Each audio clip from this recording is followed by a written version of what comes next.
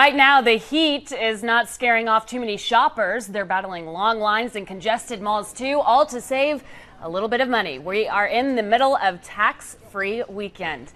Good evening. I'm Catherine Stolp. Thanks for joining us. Well, I'm not brave enough for those crowds, and it may not seem like shoppers are saving a lot, about 8% per dollar, but it adds up, especially when you buy those big ticket items. KEYE's Cassie Gallo is live at the Round Rock Premium Outlet Malls. And Cash, you're uh, surviving so far out there, right? Surviving and doing well, Catherine. Shoppers are out in full swing. There's a huge crowd out here at the outlet mall. The parking lot's packed. Plenty of people are taking advantage of saving some cash. Now, through the weekend, Texas shoppers don't have to pay state or local taxes on most back to school supplies and clothes. Eligible items must be $100 or less. State officials estimate shoppers will save more than 74 million in taxes over the weekend.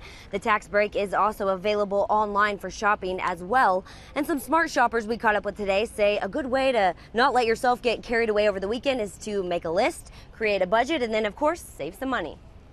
We came in under budget and got more than we came in for, so it was great. A tax free holiday, of course, uh, moved up in the month, and I think everybody is pleased with that because they like to get their shopping done early. And be sure to check with your local stores. Many retailers are offering additional sales and extending their hours to boost business. And coming up at 10, we'll break down the impact this tax free weekend is expected to have on the Central Texas economy. For now, live in Round Rock, Cassie Gallo, KEYE TV News.